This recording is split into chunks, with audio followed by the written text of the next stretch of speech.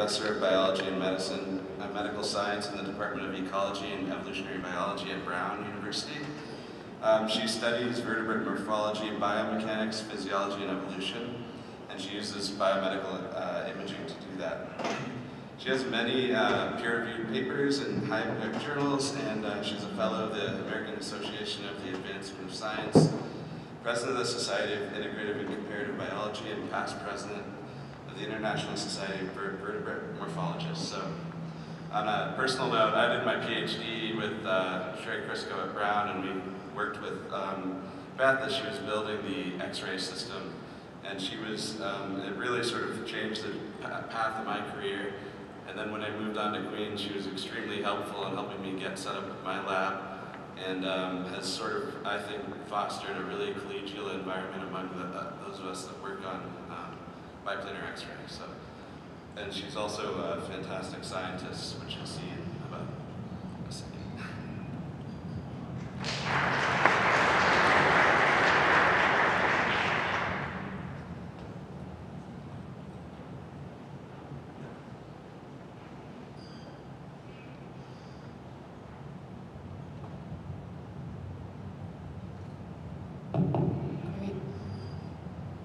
Thanks, Mike, and thanks also Jillian Beveridge for the two of you convincing me to come to this meeting. Um, it's been really wonderful, and in particular, because it's coincided with the founding of the ISB working group in comparative neuromuscular biomechanics.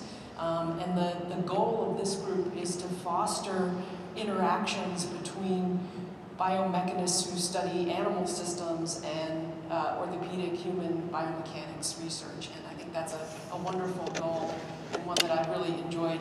Uh, I think we have a lot to offer each other, the two communities, the zoologists and the human biologists. And so thanks to the founding uh, board of this group that have been putting it all together. And um, as the current president of the Society for Integrative and Comparative Biology, I look forward to working with this working group to um, really continue to foster these, these connections between human and zoological biomechanics. So we have a division of comparative biomechanics within SICB that, um, that is largely animal biomechanics, and we'd love to get more human biomechanics. So on to the topic of the day, uh, biplanar video radiography combining with 3D mesh bone models. Um, this is an idea that I just realized sort of looking back, looking at the literature, is nearly 25 years old, which is pretty pretty amazing, right?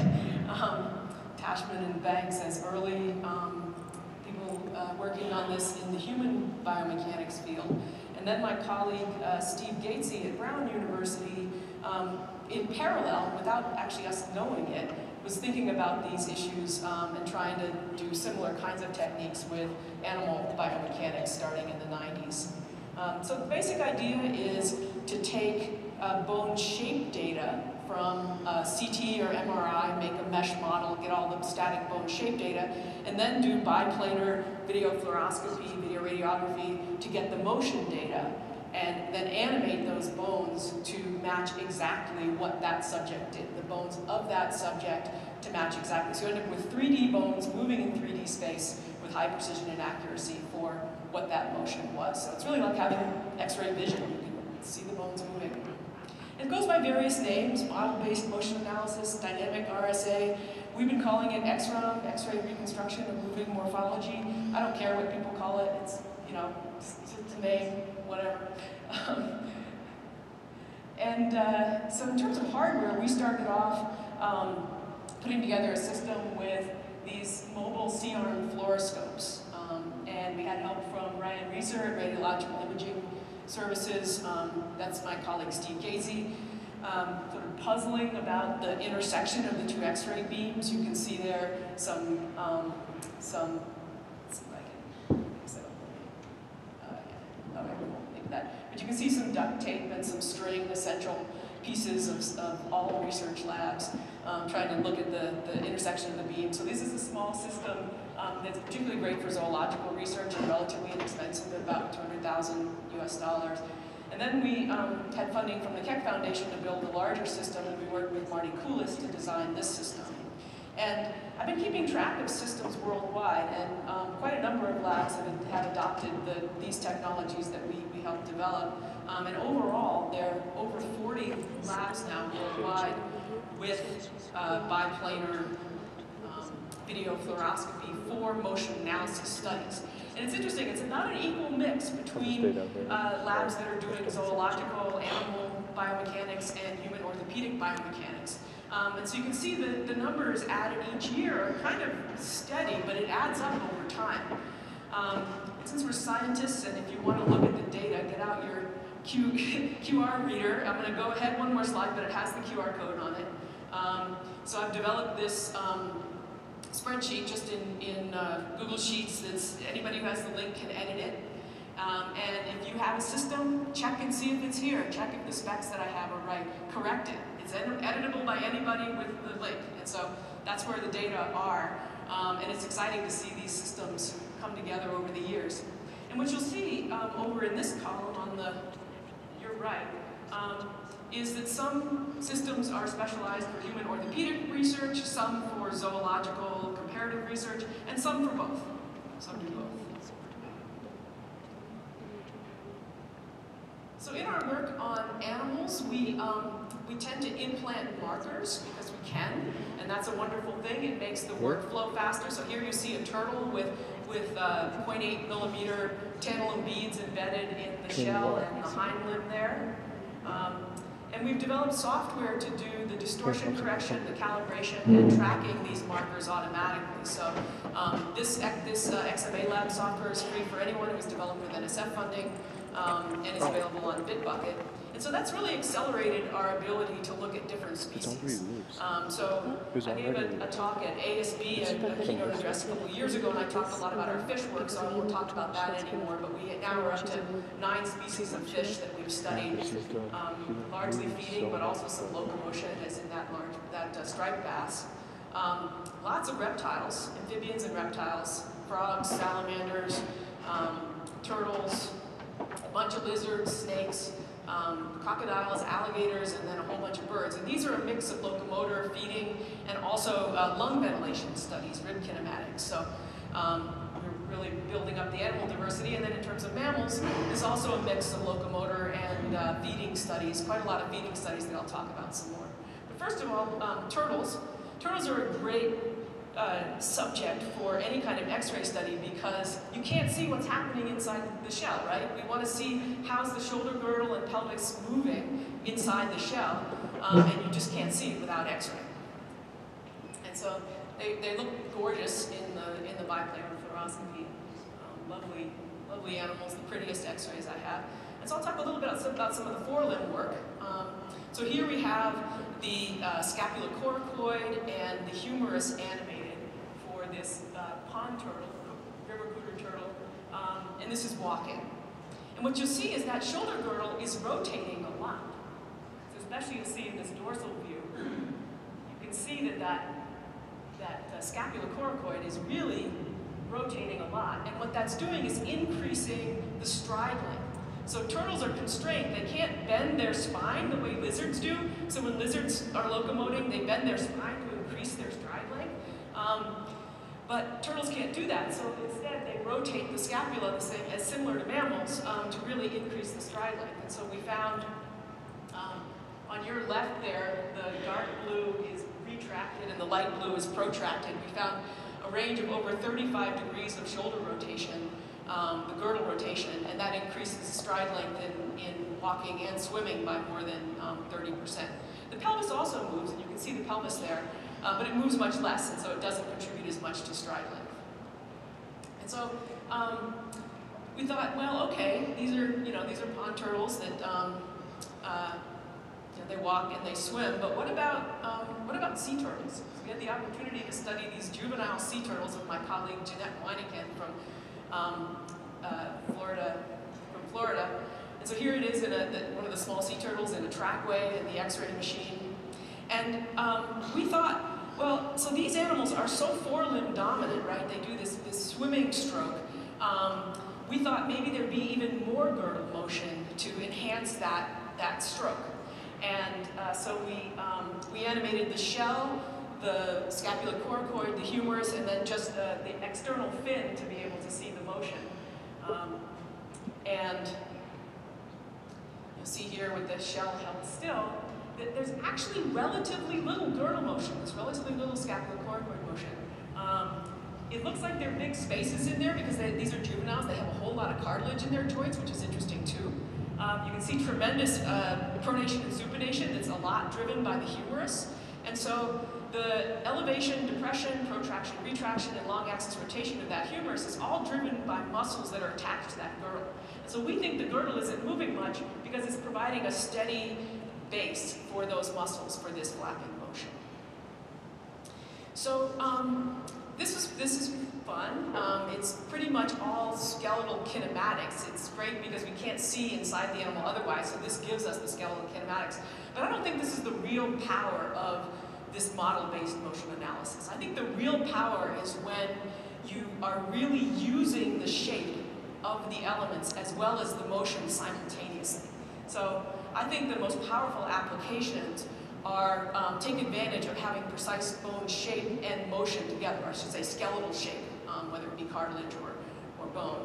And so just a very recent example on um, uh, joint biomechanics, contact surfaces, cartilage contact surfaces in the knee, um, having that shape along with the motion gives a distance map to understand the function of the joint.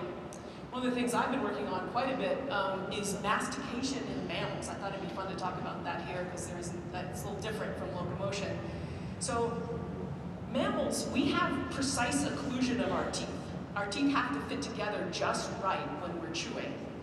And, um, and so in order to understand chewing, you really need to have the shapes of the teeth and the motion together to understand mastication. And there are quite a number of labs that are taking advantage of this now. So here are some of the PIs and their institutions and some of the animals that we're working on. And actually, pigs were one of the first animals we studied. People who've been following this for years have seen all of our pig data for, for years and years. So they, we started with them because we were sure that they would eat in the small X-ray volume, right? They're pigs. You put the food there, they're going to eat there. Um, and so, yeah, it was a good, it was a good choice for, for a place to start. So we collected the biplanar fluoroscopy with the, those are our smaller C-arm fluoroscopes. This is real speed in lab uh, frame of reference, so you can see they chew pretty fast at three or four hertz. Here it is in, in cranium frame of reference, so you can really see the jaw motions. And as it turns to face you, I want you to see the way that the jaw is yawing back and forth to produce the grinding stroke. So in these animals, the, the jaw is a single unit, fused mandibular symphysis, and it yaws back and forth to produce the grinding motion. And so because we have the tooth morphology um, and the motion, we can track the way the cusps of the teeth are interacting. So what we've done with this red and blue dot is put uh, virtual landmarks on the tooth, the lower tooth cusps, and then we look at how those project onto the upper tooth cusps. So we can see here um, in the red and the blue the way that those cusps are moving when the jaw is doing that overall yaw motion. And so we humans do this kind of chewing with the yaw, with a fused lower jaw, and so do pigs. Most recently, um, we started studying a marsupial mammal, um, some might say a more primitive mammal. Um, they, uh, you can see here this uh, short-tailed opossum is a fairly small opossum. Um, they no, have pouch young, their, their babies uh, are born quite um, immature and develop outside the mother. Um, and we chose them because they have an ancestral tooth shape. So looking in the fossil record, we can see that these opossums retain an ancestral tooth shape called a tribosphenic molar. They have an unfused mandibular symphysis, which means the two halves of the lower jaw are loosely connected, and particularly the lower jaw can rotate. The two halves, the hemimandibles, can rotate about their long axes. Um, and that can help with occlusion, is the thought. Um, so this has never been tested before, but the thought, the hypothesis going in is that because the, the hemimandibles can rotate, as the teeth come together, the animal has some control about how precisely the teeth are coming together. So that long axis rotation of the hemi mandibles is thought to be important for uh, the evolution of precise tooth occlusion. So here's our XROMM animation of the opossum.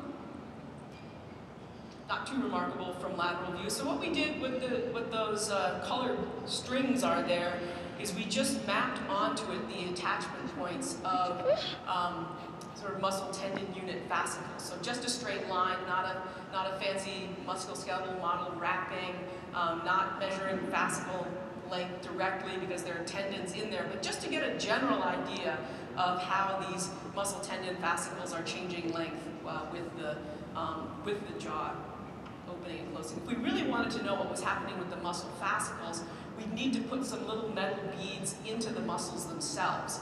Um, we call that fluoromicrometry. So if we had a couple of um, metal beads, tiny beads in the muscle itself, we could measure the fascicle length changes, and then we could also measure the end-to-end -end length changes with proper wrapping, um, and that would give us also the tendon length change. But in this case, we just wanted a general idea of how the muscles were, were changing length.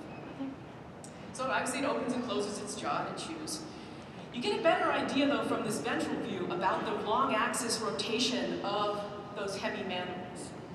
So it's, it's somewhat subtle, but they are rotating relative to each other. Uh, uh, well, yeah, they are rotating um, with each chewing stroke. And it's perhaps most clear actually in a dorsal view because you can see the coronoid processes through the orbits there. You can actually see with the shading, you can see the way that those, uh, those hemimandibles are rotating.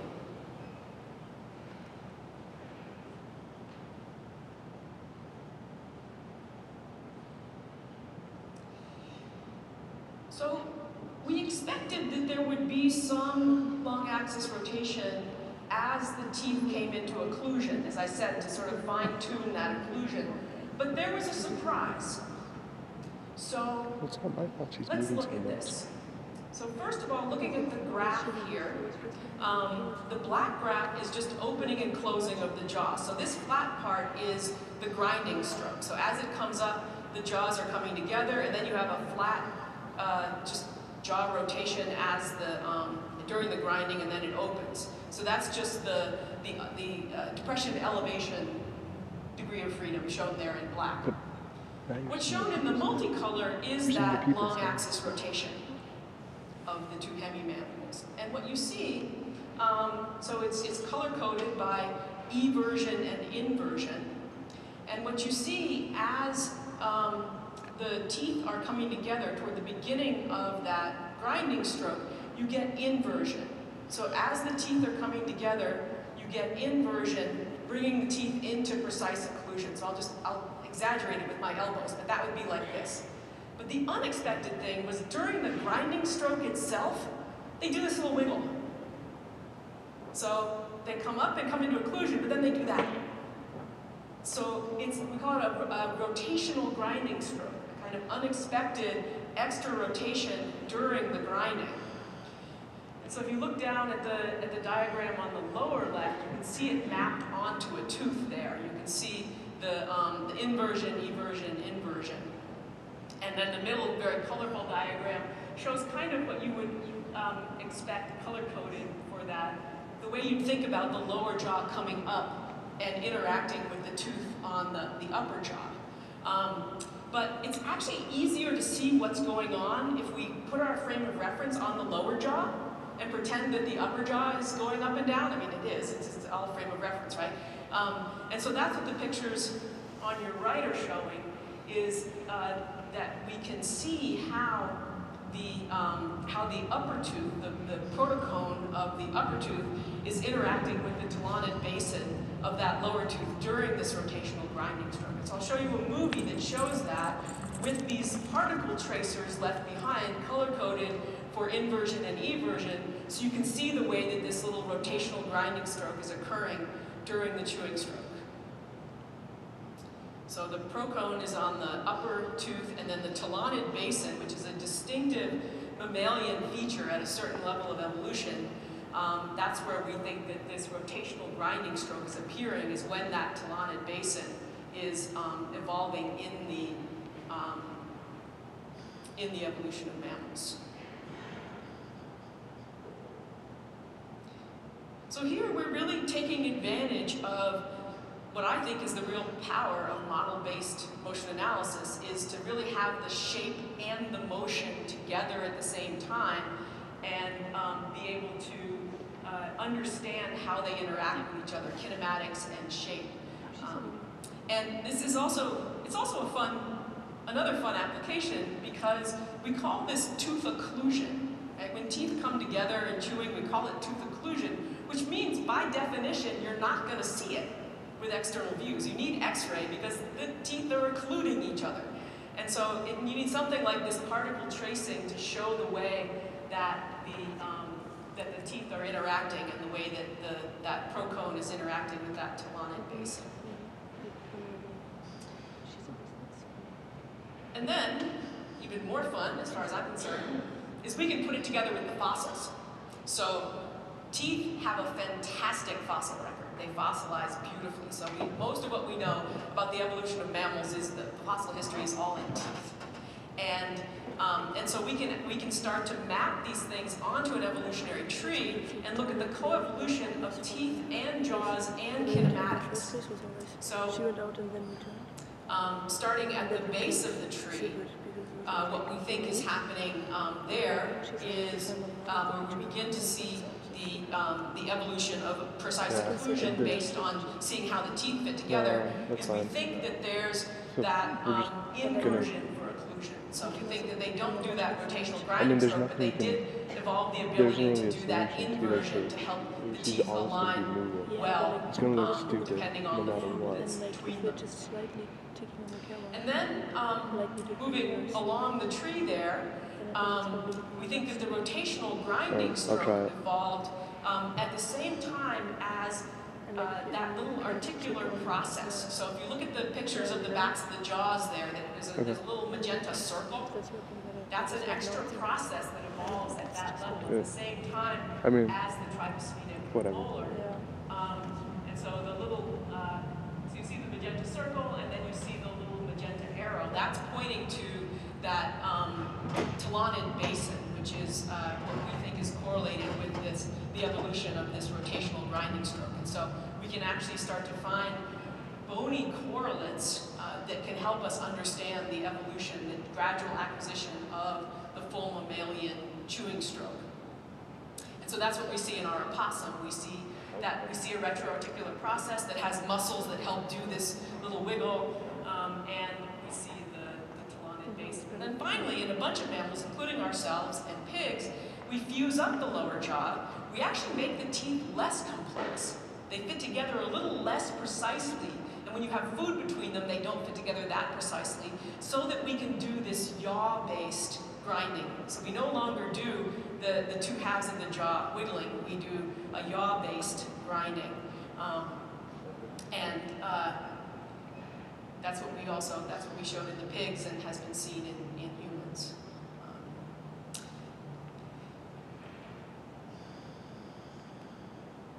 So I think there's a potential um, application for this in, in human health. So dental cone beam CT scanners are becoming more common, particularly in orthodontics and craniofacial surgery. So um, if you've ever had your teeth not occlude just right, it's really uncomfortable. So if you even just have, um, if you're eating potato chips and you get like a little bit packed down in your molar, and then you're biting, it's so uncomfortable because your teeth aren't fitting together right. Or if you have dental work done and it's not quite right and your teeth don't fit together quite right, it takes a long time to get used to the new occlusion, the new bite. Um, and there's some people who have quite dramatic malocclusion born with quite dramatic malocclusion and need to have their jaws modified to make the upper and lower arcs fit together better. And I can imagine, and this, no one does this as far as I know at this time, I can imagine a great application of model-based motion analysis for this. Um, so um, this uh, dental CT, cone beam CT scanner, um, what happens is the, that thing spins around the head of the patient. So there's the, the x-ray source to your right and the, and detector plate to your left. So that spins around to make a CT scan. If you just put a second pair of those on that gantry, you have biplanar fluoroscopy. And so you could, you could have the, you could do the CT scan and then have the subject take that bite plate out um, and uh, So you wouldn't use the bite plate because you want to see the occlusion. But anyway, well, you might. Um, and then um, do fluoroscopy, and then um, do the model-based motion analysis to really see how the teeth are occluding before and after whatever corrective measures are taken. Um, so I think this would be a, a fun clinical application, potential clinical, useful clinical application, not just research application of model-based motion analysis. So I said I'd talk about both opportunities and limitations. So far I've been focusing on mainly on opportunities, and one particular opportunity is this idea that you have skeletal shape and motion together. I think that's a particular opportunity, not just six degree of freedom kinematics, which are great. I mean, that's useful for a lot of things, but the fact that you have shape and motion together is very powerful. Another thing that's very powerful is adding other uh, sources of data, such as force, pressure, EMG, external motion capture, I'm sure you can think of more, um, really enriches the way that the, um, the XROMM data can be used. Limitations. The main one is XROMM remains a hugely time-consuming process. Even with markers, compared to external mocap, um, XROMM, it takes a lot of time. And you have to get everything just right. Um, I was thinking we should have a, sometime a, a big user group meeting where we all give all the different ways we've had data sets fail. The, things we've done that have made data sets fail.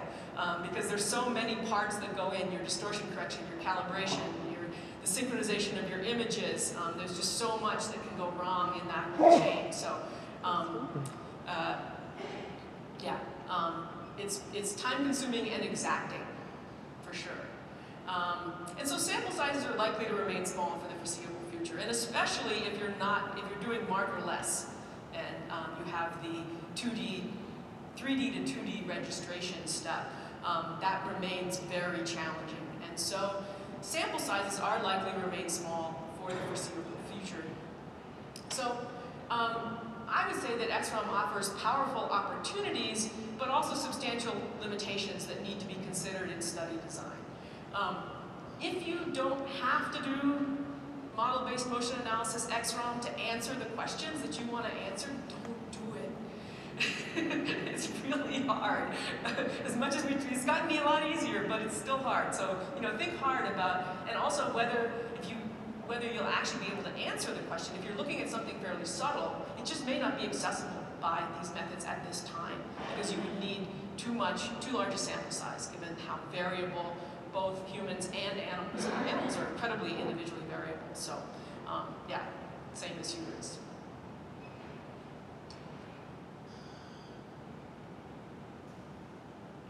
I show myself as 26 minutes in, um, which uh, I think gives me a chance to do a little bonus, bonus example. Um, I'll do my, my acknowledgements first. Um, funding agencies, some of the, the programmers, Kia Huffman and Ben Knörlein, who've been fabulous um, software engineers on our project, and my colleagues at Brown in ecology and evolutionary biology, and also in the orthopedics group there.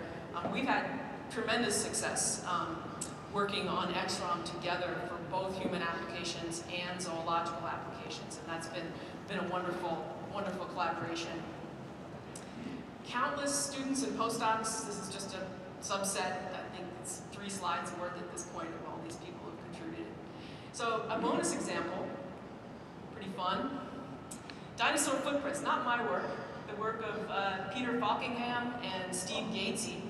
Um, and the thing that's so cool about dinosaur footprints, especially these ones that are made in soft substrates, so this is a, this is a footprint where you're looking at the surface where the foot's penetrated down into the surface. And they can actually CT scan or section it and be able to see all the way the foot is moving inside that fossil. It's a three-dimensional fossil that's the result of the foot anatomy, the foot motion, and the substrate properties. And so it's, a, it's produced by an interaction of those things. And of course, we don't know for sure ever which species makes these, right? Like the trackways, it's not like the animal runs along its trackway and then dies at the end and you know for sure which it is, right? It's, it, you know, there's a certain amount of guesswork in trying to match up the foot anatomy that we have from fossils with these. And so that's part of what this is about, is knowing which, who's the track maker in these, in these, um, these soft trackways. So my colleagues uh, Peter Falkingham and Steve Gatesy have been using guinea fowl as a model. So of course birds are dinosaurs. There are living dinosaurs. Their feet are remarkably similar to dinosaurs, non-avian dinosaurs. And so you can see the, the X-ray image at the top for XROMM. Um, this is a, a, just a standard light view, but where they've also calibrated it so they can have the bones um, visible at the same time. What this animal is running through is actually uh, poppy seeds. Um, pop, they call it poppy mud. They mix it up also with water and things to have different hydration. So, um, so they're using poppy seeds, and the reason is that actual soils are too radiopaque.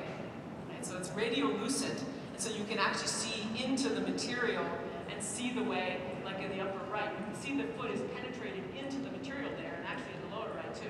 Um, so they get the, they have, they have the foot morphology, they have the foot motion in these, and then they use that on the left in a simulation of the particle motions.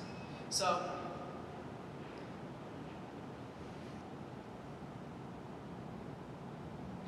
course, it's way slowed down as usual. These, these behaviors are very fast. There's the scary glove encouraging the bird along. So it leaves behind the trackway that we can look at the surface of and see um, how it compares to the fossils. And then with the particle simulation, um, we can know, including all the depth of how that fossil is made. So they can match up quite well the, the final model and the foot morphology with these, with these three-dimensional uh, footprints. Great, with that I'll, uh, I'll end.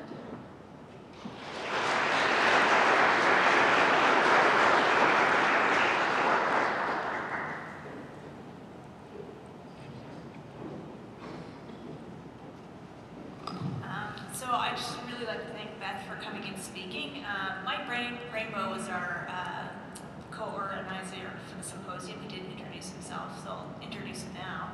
Mike's at Queens, and I'm Jill Garbage. I'm at uh, Cleveland Clinic. And Beth, I, I, I've said to you before, um, one of the things being a biomechanics, you know, my field of view is I see these parts of large bones moving relative to one another, but with your work, I get to see the whole organism and the whole, like the whole bones move together, the whole shape. And I think it's really powerful. And, and I'll, I'll just say one story that I got totally geeked out about, and I tell everybody, because we have this, um, we call it, I think it's the yurt now. And you can go into this 3D environment, and we actually took some of Beth's work, the turtle work that you saw, and you could go and you put your 3D goggles on, and you can move actually within the body of the turtle. So you could be, it's like you're standing inside the shell, and you can see these bones moving, and you can move it around, and it's, it's really an incredible experience. And that whole 3D virtual immersion, you, you appreciate the motion and the interactions in a way that you really can't appreciate from two-dimensional videos. And I think that's another avenue um, that we can explore together going forward. Um, but anyway, I just wanted to bring that. Um, I, just, I just love seeing the, the, images and videos. And so if you guys have some questions for Beth, uh, I'd love to hear them and open up the floor. And uh, just please state your name and where you're from. Thanks. Hey, Melvin Sarg from the Medical University of Vienna. Great work and great talk. I was just wondering, um, comparing this for the dental stuff with the tracking, um, so they have these tracking systems where they scan the casts of the crowns and then use kind of a rigid combination of markers to put with the teeth to track the motion of the mandible. I know that dentists are very keen on getting the clear occlusion and the last bit of movement, uh, movement as, as detailed and precise as possible. I was just wondering how that position could be if you to compare the position of the, your approach with these optical approaches. Yeah, that's a, that's a great question. I think, um, you know, maybe you and I should talk more about that and, Sure. and, and, because I don't know the precision of the, of the optical systems. And it might be that they're better and more practical. I mean, the, the lack of ionizing radiation is, is, is really important. And so if the optical tracking um, is able to provide the information that clinicians would want, then I think that would be preferable. Um, so it's really just what's, what's actually going to work. It also depends on the question because what you get is actually a root shape and maybe even like you get the full tooth. Yeah. For, which for biomechanical information with these optical scanners you want to get the crown, you kind of have to guess that the, how like the contact between the teeth and the actual mandibles. So there's definitely an added value, in I'm I was just curious about the yeah. precision. Thank you. Yeah. What What do you know about the precision of the optical system? I know that I read papers about it, but I don't know numbers. Okay. Yeah, right now, it, we can yeah. talk about it later. Yeah. So. Um, so our translational precision is down around 50 microns. Um, so it's, it's, it's good enough to really see, um, actually the limitation is more the CT scan because of the partial volume effect. You don't know for sure where the actual edge of the tooth is. And so, and so we typically actually get a little tiny bit of interpenetration um, that shouldn't be there, but, but because the teeth are a little bigger. Um, and so, yeah, just, it, it, um, I'd be interested to, to know. And uh, yes, for clinical purposes, it does seem like just the tooth surface would be sufficient. The, the, the roots and the whole thing wouldn't, wouldn't be helpful. Um, but potentially for research, yeah. Thank you.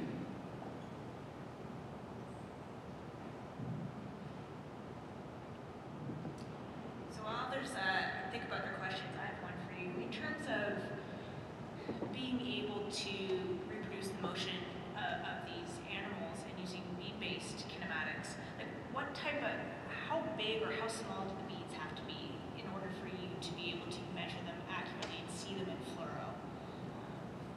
Yeah, so it, it depends on your system, the magnification, the camera. Um, in our, our system with the 42 centimeter image intensifiers on mag zero, we are just able to resolve the 0.5 millimeter tantalum spheres.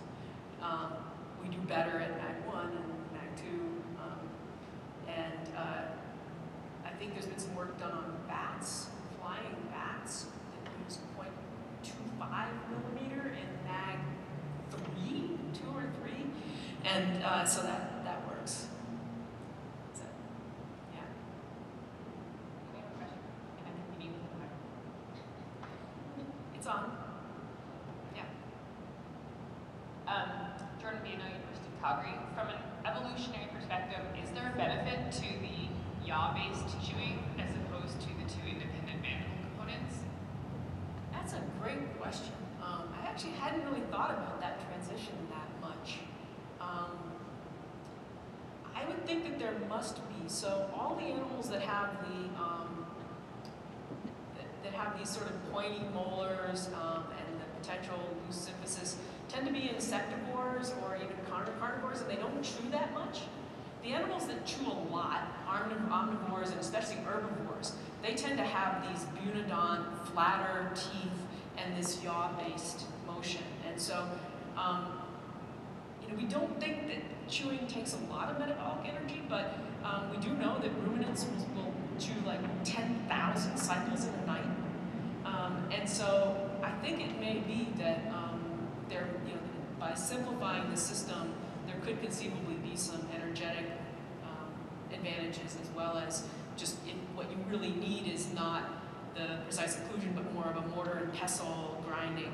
Um, it just makes sense to fuse it up. But then some don't, like goats having still have an unfused symphysis, even though they're really omnivores and they eat anything. Um, so yeah, it's interesting mixes. I